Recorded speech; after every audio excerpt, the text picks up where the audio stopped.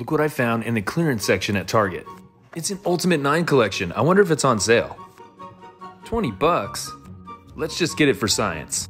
I love the name Ultimate. Do you think I'll get lucky and get one of these gold cards? Let's open it up and find out. First up are the jumbo cards, and I got double teamed by Pikachu. For the loose pack, did we get Evolving Skies? Nope.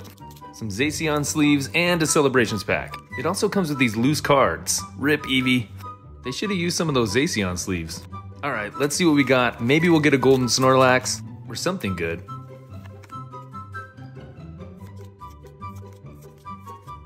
We got a reverse Steenee and a Froslass Holo. Okay, maybe Celebrations will save this box. Let's see what we get.